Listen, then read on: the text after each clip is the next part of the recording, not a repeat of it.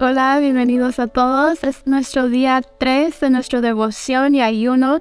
Me llamo Ana, estoy muy emocionada de compartir este momento con ustedes.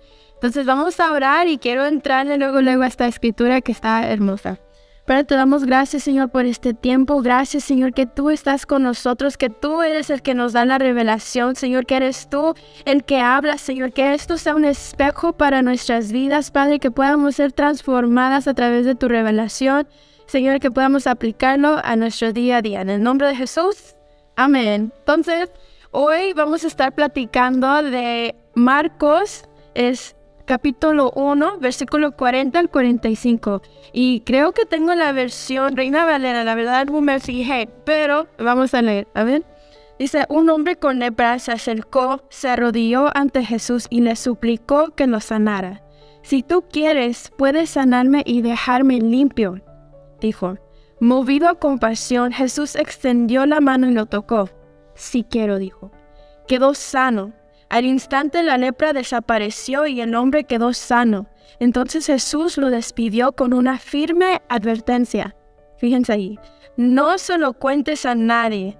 En cambio, preséntate ante el sacerdote y deja que te examine. Lleva contigo la ofrenda que exige la ley de Moisés a los que son sanados de lepra esto será un testimonio público de que has quedado limpio.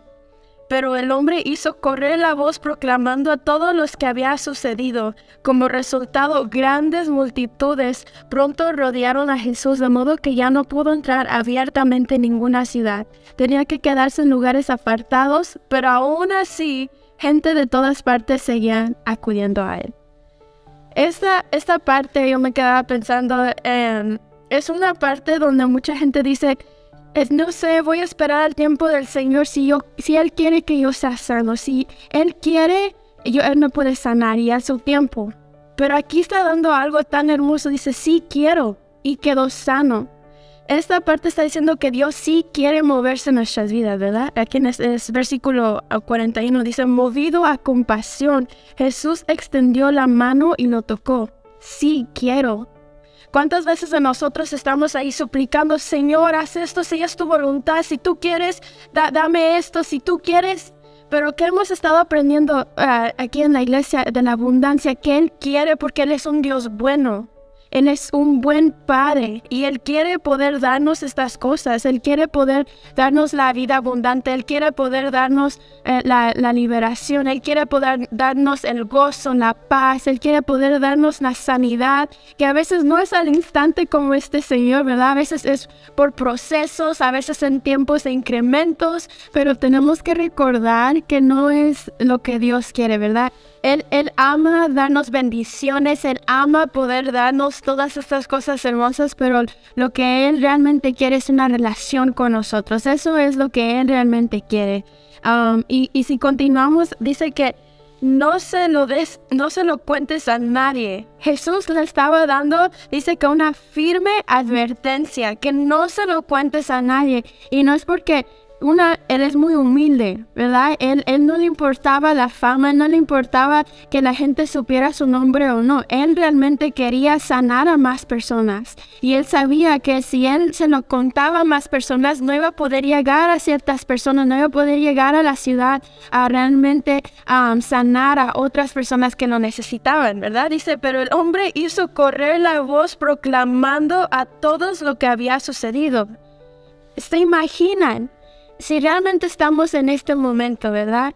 En estos tiempos los leprosos no podían este, realmente estar o ser parte de la comunidad. Ellos estaban aislados. Aquí estaba la ciudad y ellos tenían que estar fuera. Había ciertos parámetros que ellos tenían que estar y si alguien se le acercaba tenían que decir leproso, leproso, lepra, lepra, porque si se le acercaban se contagiaban. Era algo que no se veía. Entonces a este hombre que se le acercara a Jesús, una, otra que, que, que, él pudo ser sanado instantáneamente. Se imagina todas las llagas, todo lo que él estaba, si, si conocen y ven en el Google, ahí va a ver lo que es la lepra, se les caían pedazos de, de piel y se exponía hasta la carne, se exponían los, los huesos. Entonces, el que al momento quedó sano, ¿cómo no iba a poder, cómo iba a poder callar? ¿Verdad? Él, él, no podía.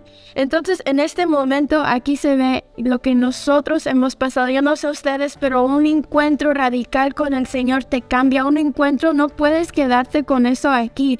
No puedes quedarte con, con, todo lo que Jesús ha dado. Yo no sé, pero en, en mi vida, yo antes estaba en depresión, yo estaba en relaciones tóxicas y ahora que yo puedo tener paz y poder tener relaciones sanas, es un testimonio que yo estoy tan agradecida con Dios y quiero poder exponérselos a todos los que pueda, ¿verdad? Si es en las calles con mis familiares. Entonces es algo que les reto hacer en esta semana o en este día, de poder ver, Señor, en qué áreas yo tú me has cambiado, en qué áreas tú has, ya has sanado y cómo yo puedo reflejar tu luz, cómo puedo reflejar tu historia en mí a través de mi testimonio.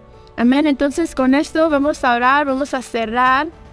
Entonces Señor, te damos gracias, Señor, por esta palabra, por tu revelación, Señor. Yo te pido que, Señor, en este día, Señor, en esta semana, tú nos guíes, que tú nos ayudes, Padre, a poder realizar todas las áreas, Señor, y que donde estuviéramos, si tú no nos hubieras tocado, si tú no hubieras intervenido, Padre, para poder darte, Señor Jesús, este aroma de gratitud a través de nuestro testimonio, a través de predicar tu palabra y qué has hecho tú por nosotros, Padre. Damos gracias en el nombre de Jesús. Amen.